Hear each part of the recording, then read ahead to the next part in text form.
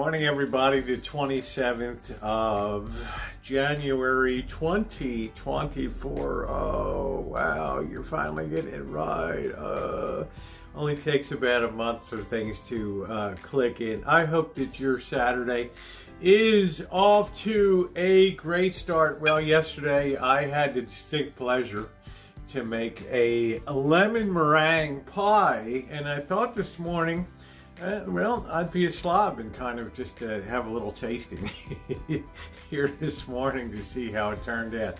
Now, I did do a very comprehensive video because I have a lot of people that are very interested in making lemon meringue pie.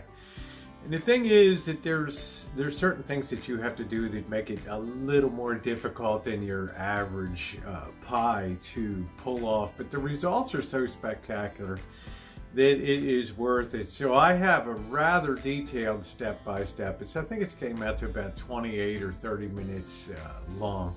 But it's going to tell you everything that you ever needed to know about how to make a great lemon meringue pie.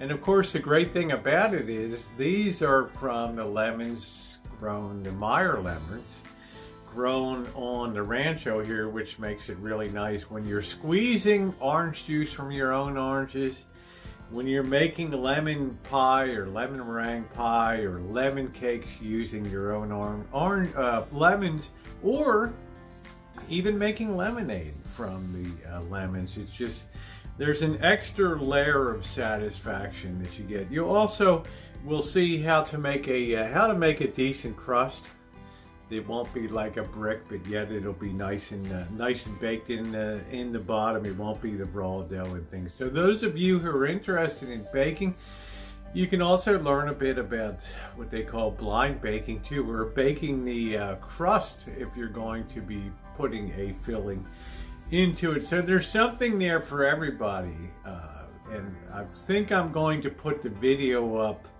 tomorrow because I will not be live unless it's late, uh, late tomorrow evening. So we shall, uh, we shall see.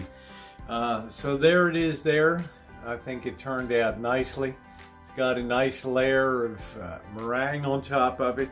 I think it's going to be very spanking lemon too because I put a lot of zest in it, zested the outside of the peel of the lemon, and that's where most of the flavor tends to be. Mm. Woo! Man, that that that lemon it just comes through.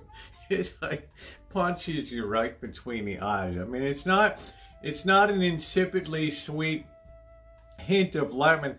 This is a lemon powerhouse uh, here, and it is really tasty. And the meringue is nice too on top of it.